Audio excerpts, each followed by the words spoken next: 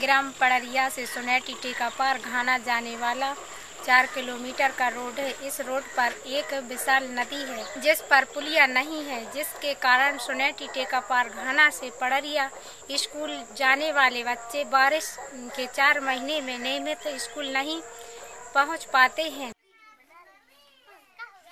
कहाँ गई थी आप? एडमिशन कराने गई थी। कहाँ तक स्कूल है? स्कूल बारहवीं तक। बारहवीं तक है? हाँ। कौन सी क्लास में एडमिशन हो रहा था? नवी में कौन कौन था आपके साथ में हमारे साथ मौसा जी थे और तो आप तीनों फिर बीच में यहाँ पाए और फिर बाढ़ आ गई नदी की?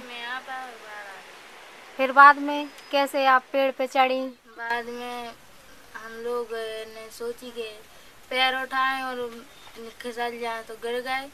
तो वे लोग जब तक वहाँ गए पेड़ के तक पहुँचे तो फिर मैंने उनकी लड़की को चढ़ा फिर हमें निकाल के हमें चढ़ाए फिर पेड़ पे ऊपर चढ़ा था? हाँ कंधे पे पैर रख के चढ़ाया था। कितना वक्त था आप लोगों को जो आप पेड़ पे बैठी रहे? तीन चार घंटे हो गए थे। चार घंटे? हाँ।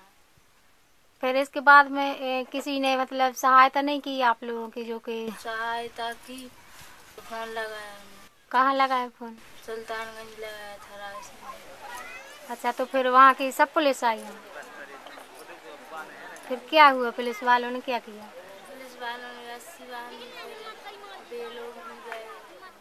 मैं वीडियो देखने वाले दर्शकों से अपील करती हूँ कि हमारे रायसेन डिस्ट्रिक्ट के कलेक्टर साहब लोकेश जी जाटव जिनका mobile number seven four eight two two two three two zero one पर कॉल कर दबाव बना, जिससे दूधई नदी में शीघ्र पुल बन सके। मैं संगीता ठाकुर, ग्राम सुनेटी विकास खंड बेगमगंज जिला रायसेन से इंडिया अनहट के लिए।